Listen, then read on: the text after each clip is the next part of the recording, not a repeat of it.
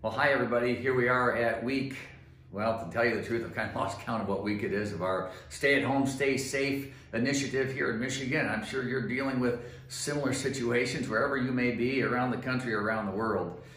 And, and it's easy to fall into a trap of feeling sorry for ourselves. I, I struggle with it sometimes. I, you want to do things that are different. But I think it's important for all of us to look at times like this in a reflective way. Let's step back.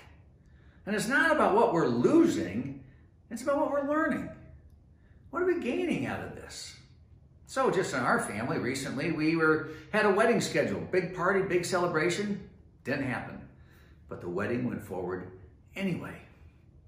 Our daughter had a graduation from Wake Forest. Graduation's canceled, just like they were for you and everybody else. We're having a celebration anyway. Oh, sure, they were both really different celebrations. Not like we'd planned, not like we'd hoped, not like we wanted. But we're able to draw some specialness out of it. Just doing a family event for a wedding was really pretty fun. We had some really unique elements and, and, and we learned something different that we never would have experienced otherwise. And, and so I think the parallel is for us to focus on the positive, focus on the learning, focus on what we're gaining, and move ourselves past from what we feel like we're losing or what's negative, because we can't change those things anyway. Jay and Rich always taught us to, to they lived a growth mindset. Leaders in the Amway business live a growth mindset.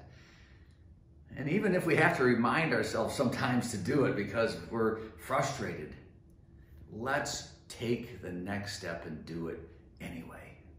That's what leaders do. Leaders move forward, not backwards. Leaders take the learnings and apply it.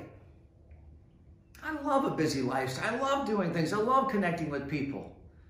Haven't been able to do that the same way recently, but I've connected with my family. That's pretty nice. A lot of us have now had that sort of connection, and now our discussion in our family is how do we take what we really like about this and create a new future? It's not just going back to doing what we've done, how do we make it better? Now, we've seen this in the business sense with so many leaders around the world how you've applied technology, how you've done something different, how you've been creative and innovative and still incredibly productive.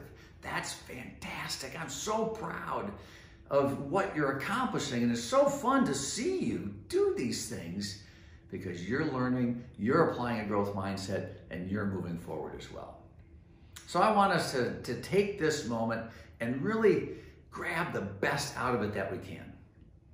I know as the Van Andel family and the DeVos family that we have come together, we've had, continue to have our connections and our meetings, and we continue to believe in you in the future. And certainly Milind and the whole Amway team are working really hard. And as I said, we've seen Amway leaders around the world just doing incredible things. So let's take this time, let's learn from it, let's make ourselves better, and let's keep moving forward. And we're going to move forward together. So take care of yourselves, everyone. It's great to have a chance to communicate with you. Stay safe, stay strong, stay healthy, and we'll look forward to seeing you soon.